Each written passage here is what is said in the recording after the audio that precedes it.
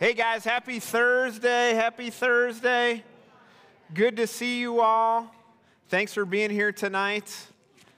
We are uh, we're going to start a new sermon series, and you know I got a new stand for it, so um, can helps the back a little bit. You know, something to lean on here. Um, but tonight's going to be hopefully a fun time. I'm going to start this series stronger, and we're going to talk about just for these next couple weeks some of the the big questions that um, come up in faith and can be barriers to people's faith.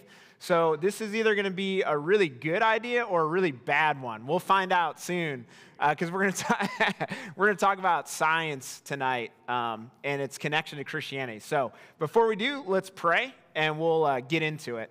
Father, we thank you for this time. We pray that you would bless us, that you would, Lord, help us to see your wisdom and your truth and your goodness in this world. Help us, Father, to see that you are the God of creation, you're the God of science, Lord, um, and that your way is, is right and true. And so, Father, I pray that you just bless and strengthen our faith and you would meet us here in these moments together. In Christ's name, amen. Well, when I was in 10th grade, I had my 10th grade biology class, and the teacher started teaching about evolution, and we watched this movie on the Scopes trial. That was a real trial in the 20s, and it was about um, teaching evolution in the, uh, in the school, the public school systems, and it went to trial over, and it was this big thing. We watched a movie about it, and then we had to write a paper about it. And I was a brand new Christian at that point, so just you know maybe for like five or six months, probably less than a year.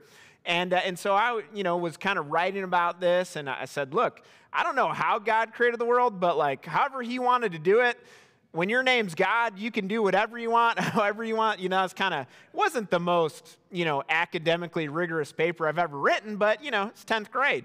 Um, and so I wrote that, and then my teacher just like tore me apart on there, and just was basically saying how um, you know anti-scientific believing in God is, and just sort of like all this stuff.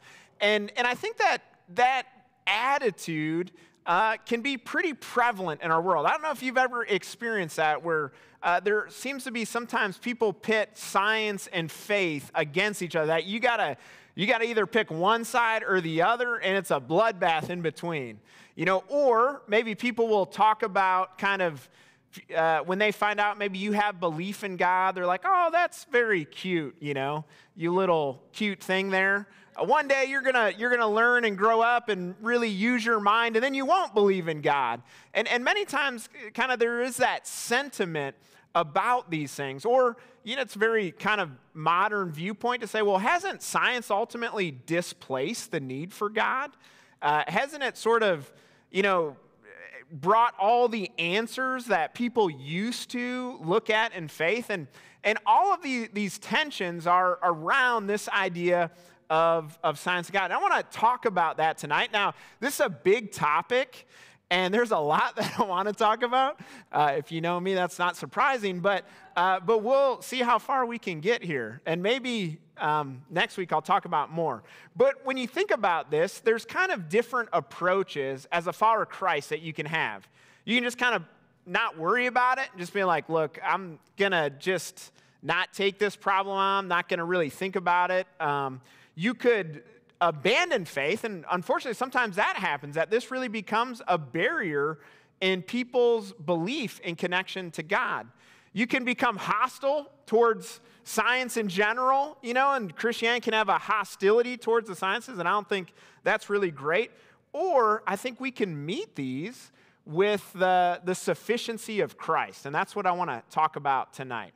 So we're going to look at Colossians 2, and I'm going to read uh, several verses to you, but we're just going to focus on one tonight. But I want you just to see the whole paragraph of this. He says, I want you to know how great a struggle I have for you and for those at Laodicea, for all who have not seen me face to face, that their hearts may be encouraged, being knit together in love to reach all the riches of full assurance of understanding and the knowledge of God's mystery, which is Christ in whom are hidden all the treasures of wisdom and knowledge. I say this in order that no one may delude you with plausible arguments. For though I'm absent in body, yet I'm with you in spirit, rejoicing to see your good order and the firmness of your faith in Christ. Therefore, as you receive Christ Jesus Lord, so walk in him, rooted and built up in him, established in the faith, just as you were taught, abounding in thanksgiving. Now, this next verse, this is what I want to focus on tonight and actually the next several weeks. See to it that no one takes you captive by philosophy and empty deceit, according to human tradition, according to the elemental spirits of the world, and not according to Christ. Now, if you just notice in these verses, Paul is writing to this church and he's saying, Hey, I'm, I'm praying that you grow. I'm praying that your faith is growing, that it's getting stronger. And he's encouraged and he's saying, And in Christ is everything. Um, and actually, Sunday, I'm going to talk about the first seven verses of this. So uh, that's what we'll be talking about then. But today, we're just going to talk about verse 8 here. But then he gives this, um, this what not to do. And again, that's, that's what I want our time to be focused on. See to it that no one takes you captive by philosophy and empty deceit. So that's kind of the warning. That's, that's the, the thing to look out for. And as we talk about this, my prayer for us is that just through our time, that our faith would get more firmness to it. Paul says, I, I see the firmness of your faith and, and I'm encouraged. And uh, that's my hope for you and me that as we gain confidence in our faith, in the truth and the credibility and the power of Christianity and Jesus Christ and his message and his life, then faith, I believe, begins to gain influence in our lives. As you gain confidence in your faith, then I think faith then begins to gain influence in our lives, and it's a really good thing. But here's what Paul says He says, Don't be captive. The word actually here is don't be kidnapped by philosophy. It's kind of an interesting image. When I was growing up, you know, I remember being warned about being kidnapped. Uh, never ended up being a problem for me. Maybe not, you know, the, the right target.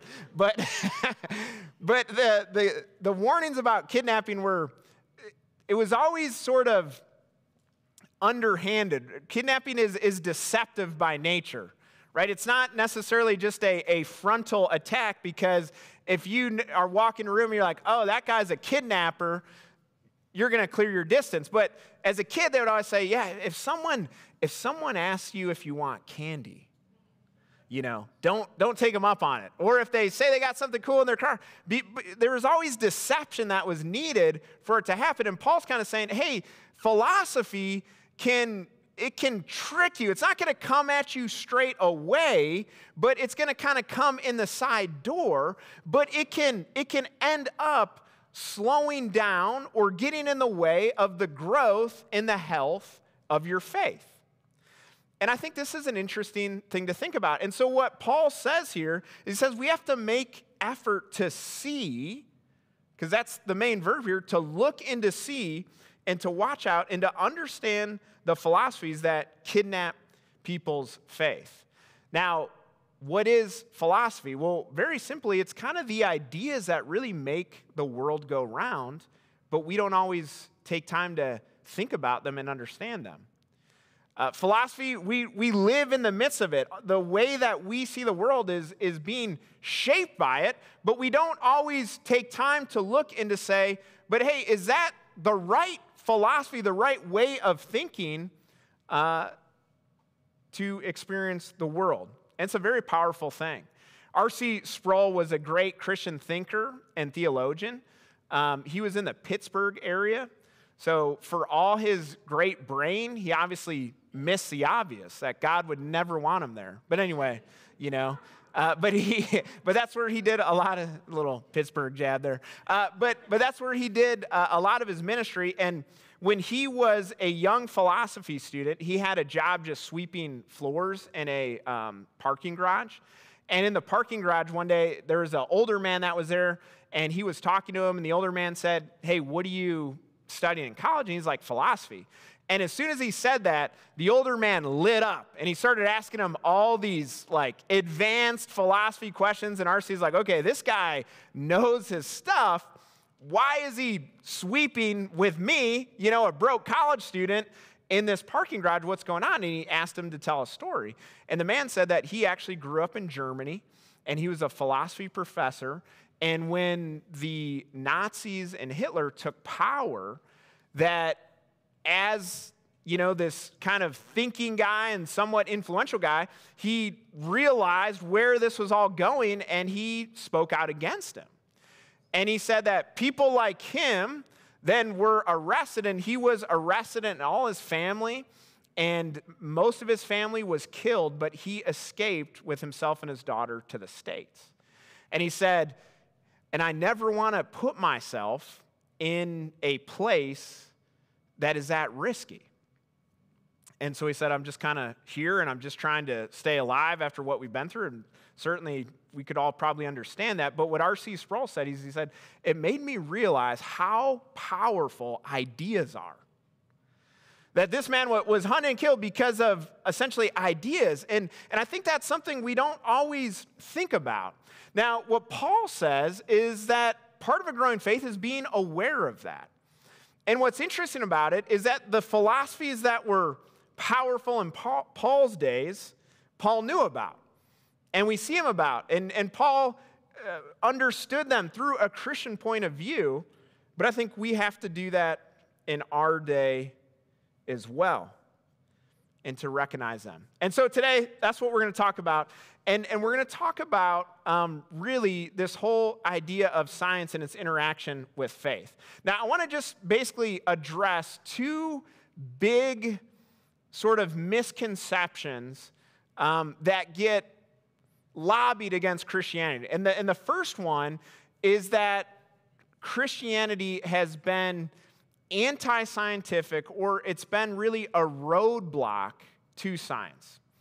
I don't know if you've heard people talk along those lines where it's kind of like, you know, the more that we get people, religious people, Christian people out of the way, the more that there can be real scientific progress in the world. And that many times when people talk about the history of science, it's this, this war between religion and science. Uh, but I believe that's really a misunderstanding. And the development of modern science was not despite Christianity, but because of it. And this is something that you see argued again and again that, that Christianity was actually the catalyst that really created modern science today. There's a great book by Nancy, Nancy Pearcey called the, the Soul of Science. And it's, it's a really cool book. But in it, she says that there have been many powerful cultures in human history. But there's only been one culture that created modern science. And I think we would all say that modern science is a really good thing. Like, I love air conditioning, I love Netflix, I like my car, um, I like my microwave. All, all this stuff is great. Um, and it's good, and it adds tremendous value to our life. And it's impressive to me what people can do. We just, uh, a couple weeks ago, we did a tour of a NASA site with some guys from the church, and Brad was there, and it was amazing, wasn't it? And just what, what they're able to do is remarkable.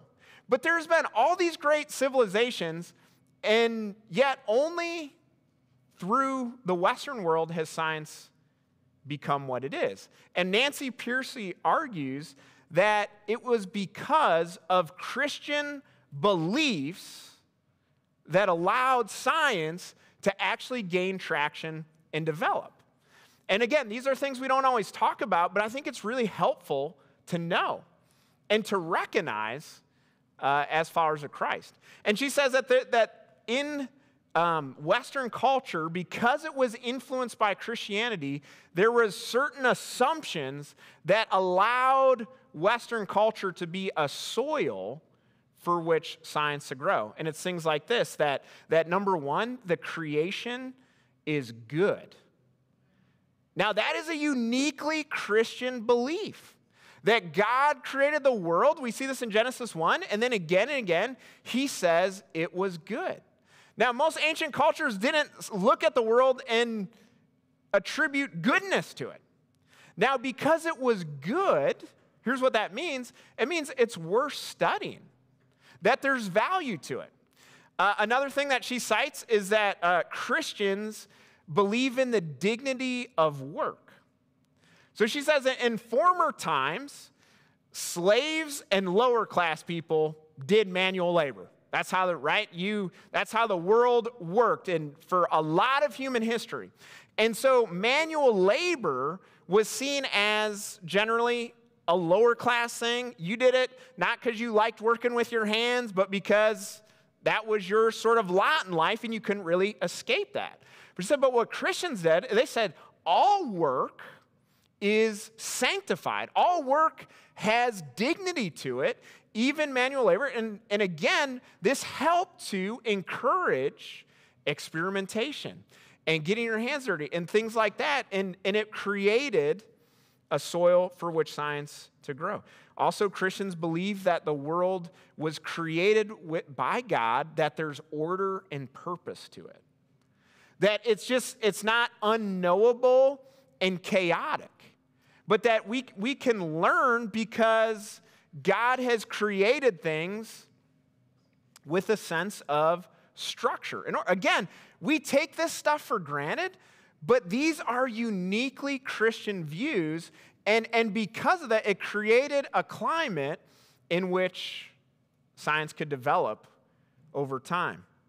Now, believe it or not, this was true even in the medieval era. And there's another great book. I'm going to recommend a lot of stuff to you tonight, all right? So just hold tight. But it's called The Genesis of Science by James Hannam.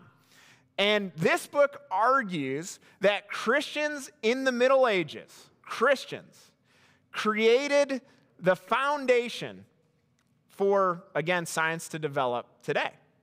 Uh, and many times, again, there is this narrative out there that medieval Christians were barbarians and they were dumb and they were really change resistant. And then, like Galileo and Kepler and these guys came a little later on and they sort of read it all. But, but what he says is that is a completely false narrative. And he argues that there are four really fundamental things that Christians did in the Middle Ages that created a foundation for science. Number one, you might not know this, but Christians created what we know of as the modern university today. All, the, all your student debt you can thank medieval Christians for.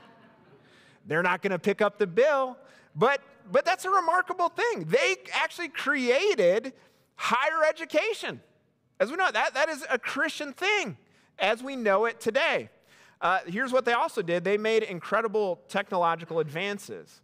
Uh, and one of the most significant, two of the most significant, were number one, lenses through which you could eventually look you know, beyond Earth into the solar system. This was medieval Christians that did it. And number two, clocks.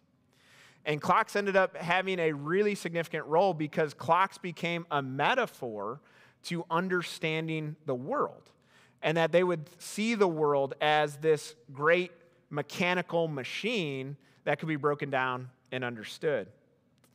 They also um, believed this idea that helped encourage science that if you study creation, you are learning about God.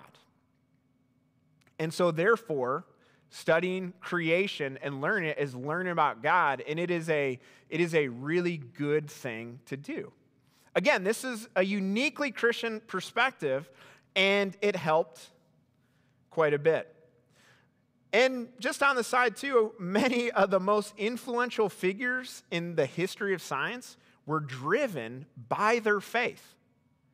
Their faith was not an obstacle to their science, their faith was the reason they were in it in the first place.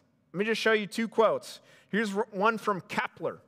He says this I give you thanks, Creator and God, that you have given me this joy in thy creation. And I rejoice in the work of your hands. See, I have now completed the work to which I was called. In it, I have used all the talents you have lent to my spirit. Now, Kepler was the first one to really discern how planets orbited um, around the sun. Uh, and so this, you know, was the beginning of a lot of breakthroughs in physics. But do you see his language here? He's saying this work that I'm doing, this is like this is my calling from God. And I'm using these talents that God has given me. He was uh, phenomenal at math, uh, which I did not get that talent. I don't know about you. Uh, but but that was but but for him it was all an act of worship. And again, I just want to show you that so much of this progress is not despite faith, it's because of faith. That Christianity has been the greatest catalyst to what we know today as modern science. But again, there's often a very different picture that is painted in our world today. Here's another one by Isaac Newton. Uh, in his book, the, uh, the Principia, which is where he talks about gravity and his three laws. He said that he wrote this book because it will be the safest protection against the attacks of atheists. And nowhere more surely than from this quiver can one draw forth missiles against the band of godless men. So he saw his work as actually a defense of the faith, that would actually aid in people being able to show the truth and credibility of Christianity. Uh, this is Isaac Newton, kind of a big deal. Uh, so, but I just want, and there's there's many more that, that you could pull out, but that's just to give you a little sense. So, so the first thing I just want to see, you to see is that so much of the progress of science was because it was born in the soil of Christianity. And you can find more and more. If you go down this rabbit hole, you will be amazed at how central it was. It was because of faith, it was because of a sense of God's goodness in creation, God's order, God's purpose that so much progress was made. And so, this whole concept of this war of science and faith, that is actually an enlightenment idea, but it is not really grounded in what really happened. You with me on this? So that's the first thing. Now, here's the second thing that I want to address tonight. And I want to address this idea that many times people, they, you know, I don't know if you've had people in your life talk to you and they're like, I'm a, I'm a rational person. I'm a scientific person. I'm a logical person. And so, because of that, they might say, you know, that's why I don't believe in God or I don't, I don't believe in things that I can't see, touch, or feel. I don't know if you've thought that or you know people like that, but that's a very common way of saying, or just say, I, I just trust science and science alone. Here, here's a good quote that I think summarizes this position. It says, Science alone is objective. So many people today, they look at science and they say, well, science, it just tells us facts and you either take them or leave them. And if you leave them, you know, you're doing that at the expense of your intellectual integrity.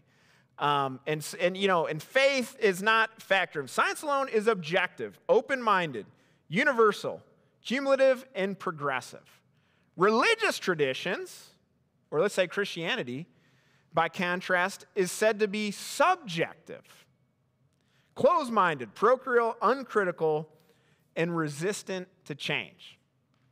So, that, that sort of attitude, that mindset, that perspective is what I want to talk about. Now, here's my summary of that.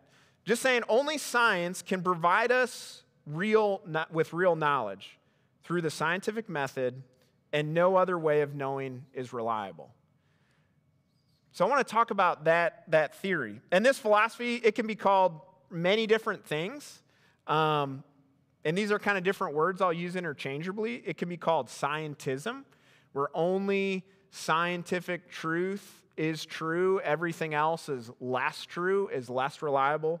Materialism, you know, only things that, that are, are matter that you can look at through a telescope or a microscope or touch with your hands, um, or just natural, that just that there's, there's nothing beyond the natural world. All these are, are, are basically very, very similar. Now, I think there is a lot of problems with this philosophy. Like Paul says, not everything that glitters is gold. Well, he doesn't really say that, but, but he says that the, be careful of the empty philosophies that, that might sound good, that might be appealing, but, but actually don't live up to what they claim. And I think this perspective that says, man, only what you can know through some scientific process is reliable and true, and therefore Christianity is unre- unreliable and not true because we can't see God in a telescope. We can't see God in a microscope. We can't quantify God in any sort of measurement that we have today. And so, well, therefore, you know, you can't really you can't really say that that's reliable or true because it cannot be tested in any scientific methodology. I would say that that is a very prevalent philosophy today. And keep in mind, that is a philosophy. Now, people might say, well, no, that's fact. Well, it's interesting you bring that up, you know, uh, because we have to ask the question, you know, what does make something true? Uh, and if you, you know, you try to think about that a, for a minute in your mind, you might say, well, something's true because, you know, it's real or it's, it's factual. And then you say, well, what makes something real or it's factual? You say, well, because it's true.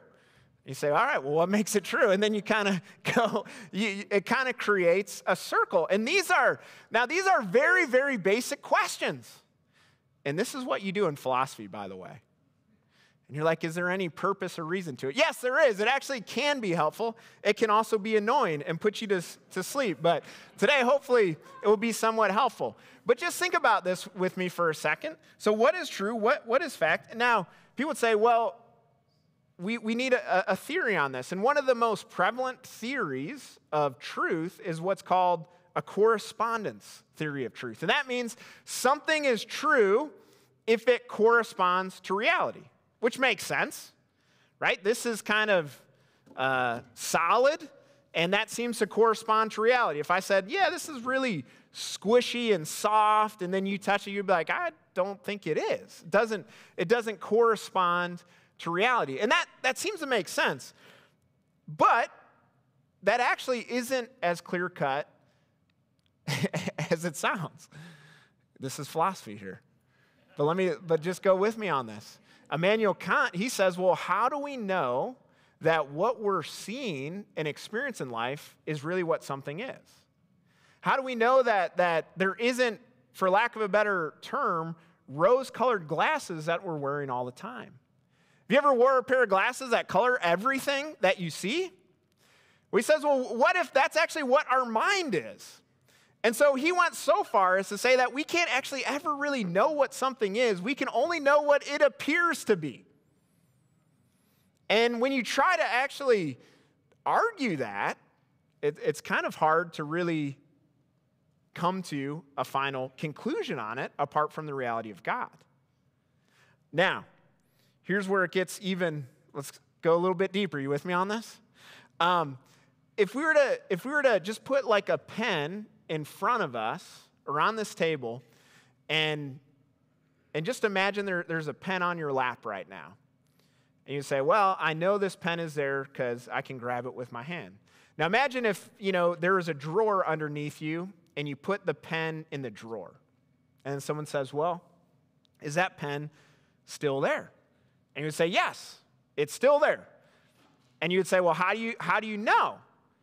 Um, and you might say, well, I put it in the drawer and I, I close the drawer, and all that would be true. And generally, when I close the door, it does not disappear. But here's just what I want you to know you actually know those things two different ways. If the pen is on my lap, I know it one way. I understand it because I, I can see it, touch it. If it's in the drawer, I know it a different way that is more conceptual. You with me on this? That, in other words, you know it because you know that the world that we live in, generally, things do not disappear when you put them away, unless it's a fridge, unless it's your keys. Then the, just kidding.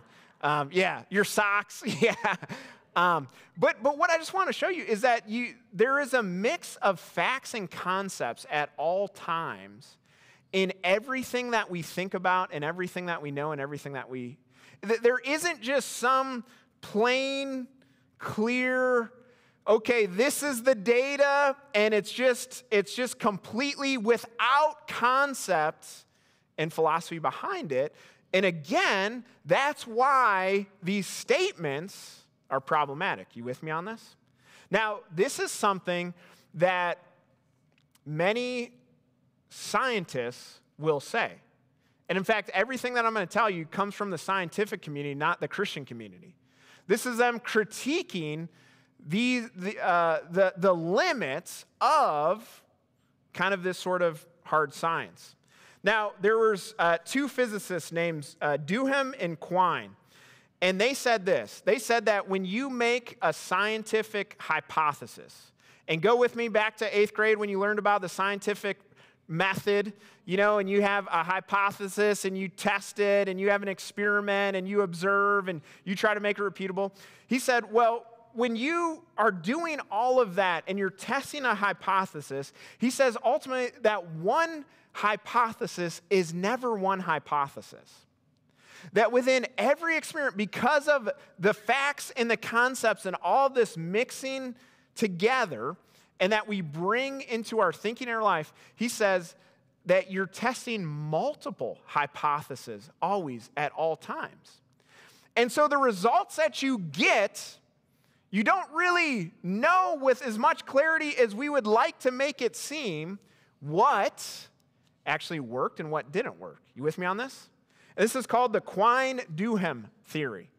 Um, and this is a philosophy of science issue. Now, because of that, there is this idea called underdetermination. And what that means, yeah, you, we're, I told you, it's either going to be really bad or really good. but underdetermination just basically says that you can get data where two rival hypotheses explain the data, but they're two very different things. All of this is to say is that what we can see, touch, look at, observe isn't always as clear cut as the world makes it out to be. And faith isn't as crazy as people want to say.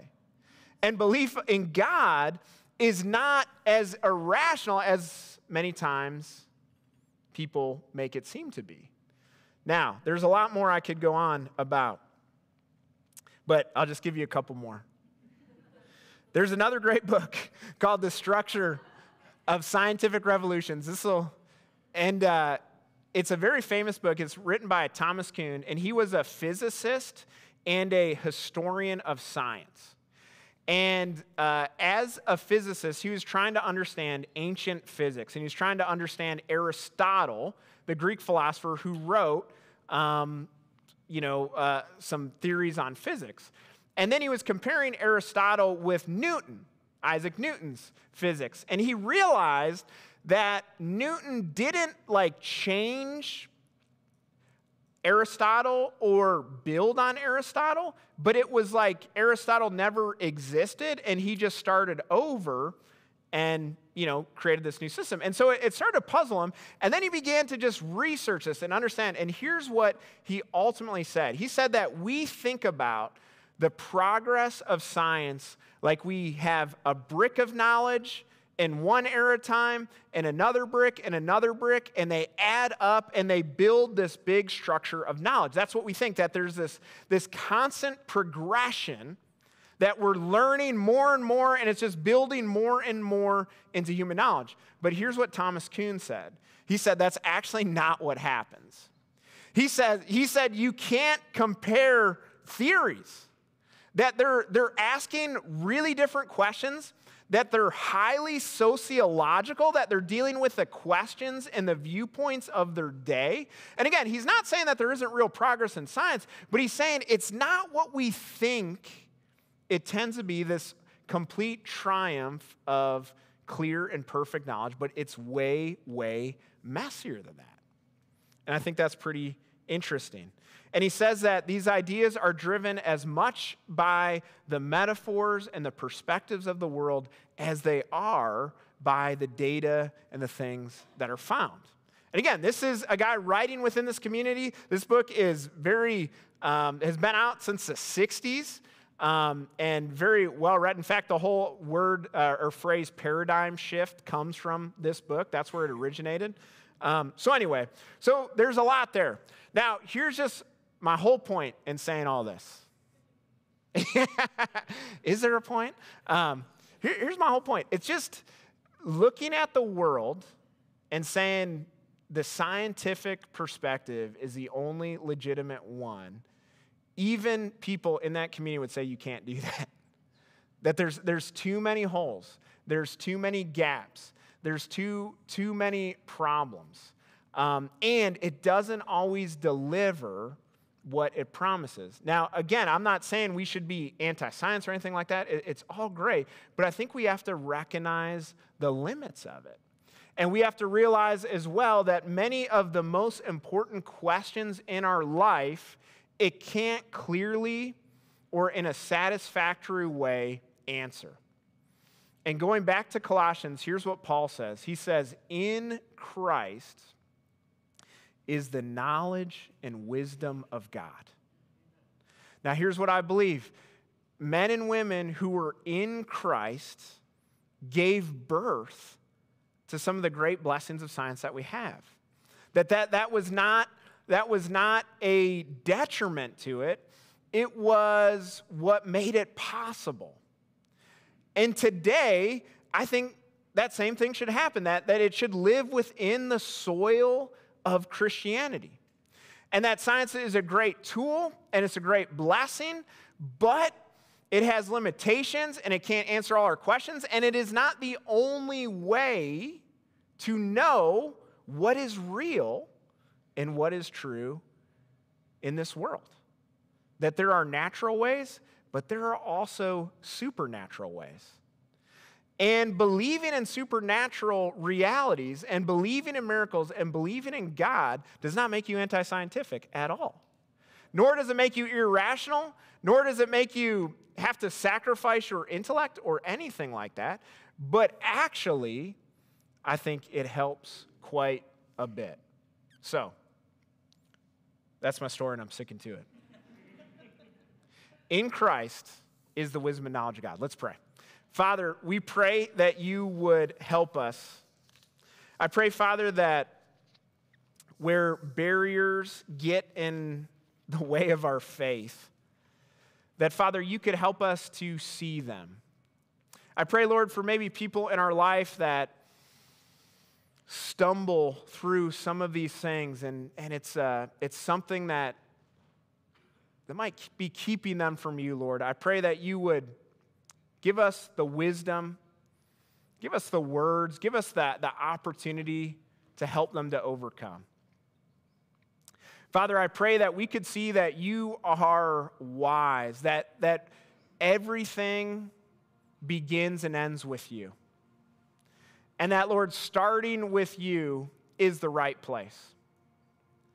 That there is tremendous blessing in science, Lord, and we don't need to be afraid of it and we don't need to run from it. We don't need to be hostile at any means, but Lord, help us also to see the great value of faith. Help us to see that in you is the wisdom and knowledge that we need not just for this life, but the life to come. And help us to see the harmony amidst it all. So bless us in this, guide us in this. I ask this in Christ's name. Amen.